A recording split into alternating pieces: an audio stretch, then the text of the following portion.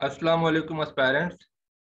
आज का लेक्चर फिरोज शाह तुगलक की लाइफ के बारे में है। तुगलक डायनेस्टी के तीसरे हुक्मरान, इनकी लाइफ को आज हम स्टडी करेंगे और आज के लेक्चर में ही हम तुगलक डायनेस्टी को मुकम्मल कर लेंगे। इसमें ना सिर्फ़ हम फिरोज शाह तुगलक की लाइफ को स्टडी करेंगे, बल्कि इनके बाद जो इनके सक्सेसर थे, उनकी लाइफ का भी, उनके दौरे हुक्मरानी का भी हम जायज़ा इसी लेक्चर में लेंगे। इससे पहले हमने गयासुद्दीन तुगलक, फिर उनके बेटे मोहम्मद बिन तुगलक, और अब तीसरा लेक्चर में फिरोज शाह तुगलक और उनके आने वाले सक्सेसर्स की लाइफ का जायजा लेंगे। जैसा कि हमने पहले बता दिया था कि मोहम्मद बिन तुगलक की डेथ हो जाती है, तेरह सौ इक्यावन में मैन ही बाज आन इज़ वे टू ठट्ठा तो वहाँ पे उनकी डेथ होती है और उनके बाद तख्त संभालते हैं उनके कज़न फिरोज शाह तुगलक। इन्होंने तेरह सौ इक्यावन से लेकर सितंबर बीस, तेरह सौ अठासी तक हुक्मरानी की। तकरीबन सैंतीस साल तक ये दिल्ली के तख्त के हुक्मरान रहे। ये मोहम्मद बिन तुगला के कज़न थे, यानी कि इनके वालिद का नाम था मलिक रजब, जो कि गयासुद्दीन तुगलक के भाई थे। इस हिसाब से ये गयासुद्दीन तुगलक के सगे भतीजे और मोहम्मद बिन तुगलक के कज़न थे। कहा जाता है कि इनके वालद का इंतकाल बहुत, इनकी कम उम्री में हो गया था और उस वक्त बहुत छोटे थे जब इनके वालद का इंतकाल हुआ। फिर इनके चचा गयासुद्दीन तुगलक ने इनको, इनकी परवरिश की और इनसे बहुत ज़्यादा प्यार और मोहब्बत का रिश्ता रखा। फिर इसके बाद उनके बेटे मोहम्मद बिन तुगलक ने भी अपने कज़न के साथ अच्छा रवैया जो है वो रखा था। ये 1309 में पैदा हुए और जब मोहम्मद बिन तुगलक की तेरह सौ इक्यावन में डेथ हुई तो उस टाइम हालात ये थे कि कोई भी तख्त संभालने को तैयार नहीं था। लिहाजा नोबल्स ने कन्विंस किया, फिर फिरोज शाह तुगलक ने जो है वो तख्त संभाला।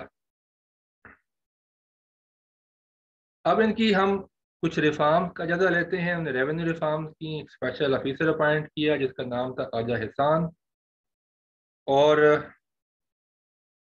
इसके बाद इनका जो टैक्सेशन सिस्टम था, मुख्तलिफ़ किस्म के टैक्सेस लगाए गए इनके दौर में। खराज, जो कि लैंड टैक्स है equal to one tenth of produce of land ज़क़़त, जैसा कि आप जानते हैं कि एक इस्लामी टैक्स है, जिसमें जो साहिब दौलत लोग हैं, साहिब इस्तात लोग हैं, जिनका जिसके पास माल दौलत सेविंग की फार्म में एक ख़ास मकदार से जिसको निसाब बोलते हैं, अगर उसके बराबर जो उससे जायद हो तो वो हर सौ रुपए के ऊपर ढाई रुपए टैक्स अदा करते हैं, जिसको ज़क़़त बोलते हैं, और ये वो वाद निज़ाम है, जिसके ज़रिए पैसा अमीरों से गरीबों की तरफ़ सर्कुलेट होता है।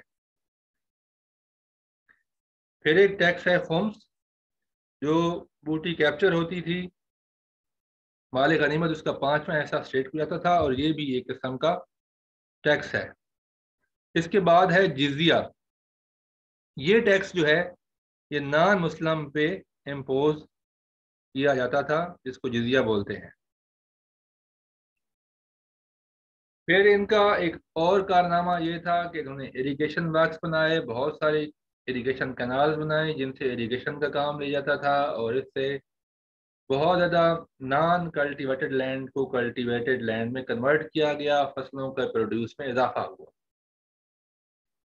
ये इनका बड़ा कारनामा था। फिर उन्हें मदरसे तमीर करवाए, मसाजिद तमीर करवाई और इस्लाम की तबलीग में अपना किरदार अदा किया। इसके बाद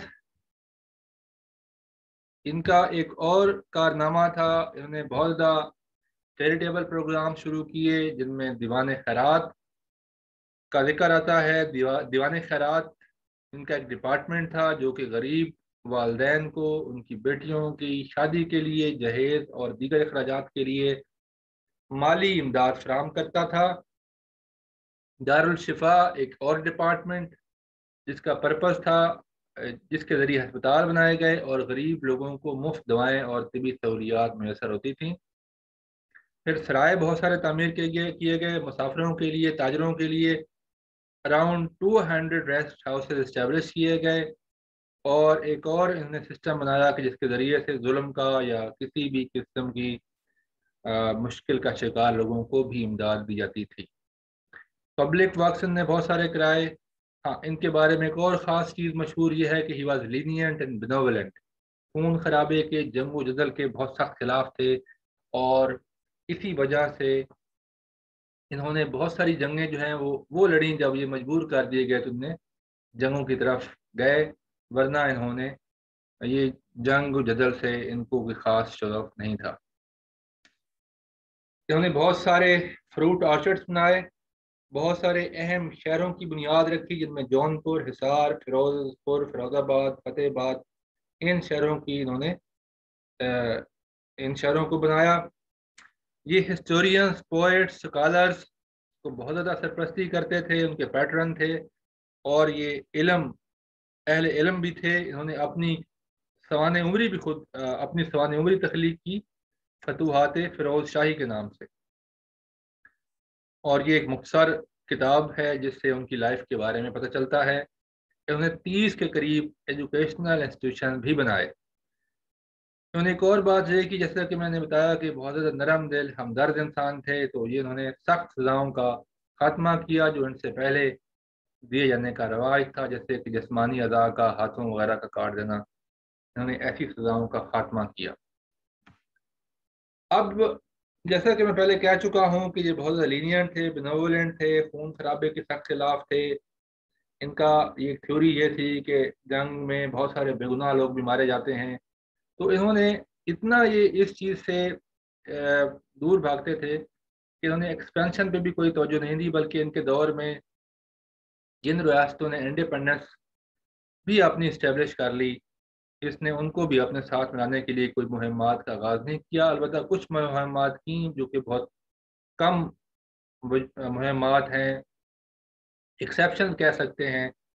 इसलिए कुछ हिस्टोरियन ने इनको ये भी लिखा है कि he was not an efficient commander क्योंकि इनके दौर में कोई ख़ास फतवात नहीं हुई, कोई एक्सपेंशन नहीं हुई। और गुजरात और सिंध में ख़ास तौर पर बहुत सारी बगावतें शुरू हो गई। बंगाल ने अपनी इंडिपेंडेंस का आगाज़ कर दिया, सुल्तान ने उसके खिलाफ मुहिमात की तेरह सौ तिरपन में, तेरह सौ अठावन में, लेकिन नाकाम हुए। फिर उन्होंने जगन्नाथ टेंपल नागरकोट और ठटा को फतह किया। हाँ इनके पास कोई बहुत बड़ी स्टैंडिंग आर्मी भी नहीं थी। इनकी दौर का एक और ड्राबैक ये भी था कि ये मिलिट्री सर्विस इनके दौर में विरासती थी, मौरूसी थी और सिर्फ़ एक जर्नैल का या सिपाही का बेटा ही उसी में सर्विस में जाता था। मेरिट के ऊपर कोई तकर्री नहीं होती थी। विरासती तौर पे मिलिट्री सर्विस में लोगों को आने का मौका मिलता था। इन्होंने एक और स्टेप जो उठाया कि सोल्जर्स को तनख्वाहों के बदले में अपनी ज़मीनें दे दी, जिससे काफ़ी ज़्यादा जो है वो इस, इनके इस स्टेप को भी काफ़ी ज़्यादा क्रिटिसाइज किया जाता है। फिर इनके दौर में स्लेवरी बहुत ज़्यादा आम हो गई। थाउज़ेंड ऑफ़ स्लेव थे उनकी मेंटेनेंस के ऊपर उनको आ, उनकी परवरिश के ऊपर उनकी आ, उनकी ट्रेनिंग के ऊपर बहुत ज़्यादा खर्चा आता था उनके खाने पीने उनकी अखराज पे। वो भी स्टेट के ऊपर एक लाइबिलिटी थी। और ये स्लेव भी बाकायदा एक प्रेशर ग्रुप की शक्ल इख्तियार कर लेते थे। अब जब ये इनके साथ फिर इनकी जो आखिरी दौर था उसमें काफ़ी ट्रेजडी हुई। इनका एक बेटा फतेह खान था जो बहुत काबिल था। ये ये इनका एक समझें कि लीगल एयर या इनका एक वारिस था इनके तख्त का आ, जिसको ये उस उसके तौर पे तैयार कर रहे थे। ये तेरह सौ छहत्तर में फौत हो गया जिससे इनको काफ़ी सदमा पहुँचा फिरोज शाह तुगलक को। फिर इन्होंने आखिरी जब इनके अयाम आए तो इन्होंने अब जो अपना तख्त था, वो अपने बेटे प्रिंस मोहम्मद के नाम किया। लेकिन बाद में नोबल्स ने वहाँ पे एक बगावत स्टार्ट हो गई और उन्होंने कहा कि प्रिंस मोहम्मद को तख्त ना दिया जाए। तो इसके बाद प्रेशर में आके इसने अपना जो तख्त है, रॉयल टाइटल जो है, वो अपने पोते तुगलक खान, जो कि फ़तेह खान के बेटे थे, फ़तेह खान तो पहले फौत हो चुके थे तेरह सौ छहत्तर में तो उन्होंने अपने पोते तुगला खान को नामजद किया। इनकी डेथ सितंबर तेरह में हुई और इन्होंने लेगेसी में कोई अच्छी चीज़ें, अच्छी लेगेसी नहीं थी। इनके बाद नोबल बहुत स्ट्रांग हो गए थे। इन्होंने असल में अपीजमेंट की पॉलिसी रखी थी। नोबल्स को भी खुश किया और माँ को भी खुश करते रहे। और इस बात के खौफ से कि खून खराबा ना हो, अमन रहे। अमन की जो ख्वाहिश थी इसकी वजह से सख्त इकदाम नहीं उठा सके। तो नोबल्स काफ़ी ताकतवर हो गए थे, रेबिलियन, बगावतें, और इनकी आर्मी कमज़ोर थी, फिर इनकी जो जो एम्पायर थी, उसका साइज़ छोटा हो गया। तमाम रियासतों ने इंडिपेंडेंस अनाउंस करना शुरू कर दी। तो ये उनकी लगेसी थी। इनका जो मज़ार है, वो हौज ख़ास न्यू दिल्ली में लोकेटेड है। तो इनके बाद, जैसा कि मैंने बताया कि इनके पोते तुगलक खान की हुकूमत आई, जिनका नाम तो तुगलक खान था, लेकिन उन्होंने अपने आप को गयासुद्दीन तुगलक शाह टू का खिताब दिया। यानी इनको तारीख में गयासुद्दीन तुगलक शाह टू भी कहा जाता है। इनका दौर इकदार मुख्तर था। कुछ महीनों पर मुश्तमिल था, सितंबर तेरह सौ अठासी से लेकर चौदह मार्च तेरह सौ उनानवे तक। ये फतेह खान के बेटे थे, फिरोज शाह के पोते। ये इनको भी एक साजिश के ज़रिए मरवा दिया गया मार्च तेरह सौ थर्टीन एटी नाइन में। इनको असेसिनेट कर दिया गया। कहा जाता है कि इनका अबूबकर खान जो है, वो इस प्लाट के पीछे हैं। अबूबकर खान फिरोज शाह तुगलक के पोते थे और जफ़र खान के बेटे थे। लिहाजा एक लिहाज से ये इनके कज़न थे। कहा जाता है कि इनके इनके कज़न अबू बकर खान ने ही इनको मरवा दिया था। अबू बकर शाह की जो हुकूमत आई, ये भी बहुत मुख्तर टाइम के लिए रहे। इनका दौर मार्च तेरह सौ उनानवे से लेकर तेरह सौ नब्बे तक था। लेकिन इनकी एक तसल चल पड़ी। इनके चचा मोहम्मद शाह के साथ, जो कि फिरोज शाह तुगलक के बेटे थे, तख्त के लिए दोनों के दरमियान लड़ाइयाँ शुरू हो गई और इनके दरमियान एक जंग होती है तेरह सौ नबे में, जो जंग अबू बकर शाह हार जाते हैं और ये कैद कर दिए जाते हैं और ये कैद के दौरान ही पहुँच जाते हैं और मोहम्मद शाह जो हैं वो नेक्स्ट किंग बन जाते हैं तेरह सौ नबे में। मोहम्मद शाह नसीरुद्दीन मोहम्मद शाह, जिनका पूरा नाम है, इनको नसीरुद्दीन मोहम्मद शाह थ्री कहा जाता है। ये फिरोज शाह तुगलक के बेटे हैं। इनकी डेथ होती है तेरह सौ चौरानवे में, तकरीबन चार साल जो हुक्मरानी करते हैं और इनका दौर होता है तेरह सौ नबे अगस्त से लेकर जनवरी तेरह सौ चौरानवे तक। इनके बाद इनके बेटे अलाउद्दीन सिकंदर शाह तख्त पे आते हैं। यानी नसरुद्दीन मोहम्मद शाह थ्री के बेटे, अलाउद्दीन सिकंदर शाह, ये भी कुछ हफ्तों तक, यानी एक दो महीने तक ये हुक्मरानी करते हैं, जनवरी तेरह सौ चौरानवे से लेकर मार्च तेरह सौ चौरानवे तक। बमुश्किल इनका टाइम कुछ हफ्तों पर मुश्तमिल होता है। ये भी नेचुरल डेथ मरते हैं तेरह सौ चौरानवे मार्च में। इनके बाद नसरुद्दीन महमूद शाह तुगलक इकदार में आते हैं और ये हैं नासिरुद्दीन मोहम्मद शाह के बेटे और younger brother of Alauddin Sikandar Shah.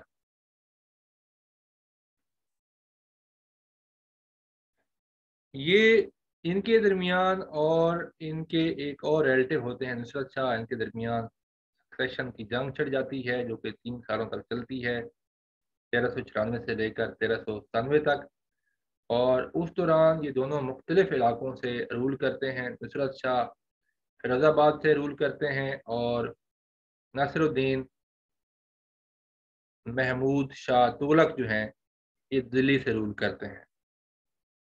इसी दौरे हुकूमत में दिल्ली सल्तनत का जो शराजा है, बिखर जाता है। इसके जो दूर दराज के सूबे हैं, वो अपनी इंडिपेंडेंट इंडिपेंडेंस अनाउंस कर देते हैं। और दिल्ली सल्तनत से वो कट जाते हैं। तेरह सौ अठानवे में एक और वाक़ होता है कि अमीर तैमूर के यहाँ पे हमला आवर होता है और उसके हमले के नतीजे में नासिरुद्दीन महमूद शाह तुगलक वहाँ से भाग जाते हैं और जब लूट मार करने के बाद आमिर तैमूर निकल जाता है तो ये दोबारा फिर वापस आते हैं और दोबारा दिल्ली पे कब्जा करते हैं। इनकी डेथ होती है चौदह सौ बारह में। इसी दौरान जो नोबल्स हैं, वो दौलत खान को सेलेक्ट करते हैं, जिसके साथ खिजर खान जंग करता है। खिजर खान जो है, ये वो बादशाह थे जिन्होंने सैयद डायनेस्टी की बुनियाद रखी। खिजर खान जो है, वो दौलत खान को हरा देते हैं और इसके बाद, यानी तुगलक डायनेस्टी अपने अख्ताम को पहुँचती है 1413 में और यहाँ से स्टार्ट होती है सैयद डायनेस्टी और अगले हुक्मरान, जो पहले हुक्मरान हैं सैयद डायनेस्टी के वो खिजर खान हैं। हम आने वाले लेक्चर में सैयद डायनेस्टी का जायजा लेंगे। ये था आज का हमारा तुगलक डायनेस्टी के ऊपर लेक्चर इसमें हमने तुगलक डायनेस्टी के आखिरी जो फरमा रवा हैं फिरोज शाह तुगलक से लेकर, फिर इसके बाद गयासुद्दीन तुगलक शाह टू और बकर शाह नसरुद्दीन मोहम्मद शाह थ्री अलाउद्दीन सिकंदर शाह, नासरुद्दीन महमूद शाह तुगलक। इनकी लाइफ हमने स्टडी की। आने वाले लेक्चर में हम तुगलक डायनेस्टी के ऊपर सॉरी सैयद डायनेस्टी के ऊपर बात करेंगे। अब आखिर में हम देख लेते हैं कि जनरली क्या काजेज थी डाउनफॉल की तुगलक डायनेस्टी की। तो हमने इनको वैसे स्टडी कर लिया हुआ है। मेजर जो प्रॉब्लम थे वो चार थे। फिरोज शाह तुगलक की जो कमज़ोर पॉलिसी थी, वो बहुत ज़्यादा कंट्रीब्यूट किया तुगलक डायनेस्टी को कमज़ोर करने में। बहुत ज़्यादा अपीजमेंट की पॉलिसी थी नॉबल्स के साथ भी उन्होंने बना के रखी, बहुत ज़्यादा बोल्ड डिसीज़न नहीं लिए बहुत ज़्यादा सख्त गिर नहीं थे। उनकी नरम दिली ही उनकी जो है वो कमज़ोरी का बायस बनी। और फिर उनके जो सक्सेसर थे वो बड़े वीक थे, उनकी आपस में जंगें रहीं, आपस में वो तख्त के लिए लड़ते रहे और जब एक डायनेस्टी के हुक्मरान आपस में तख्त के लिए बरसर पैकार हों तो फिर रास्ते कमज़ोर हो जाया करती हैं।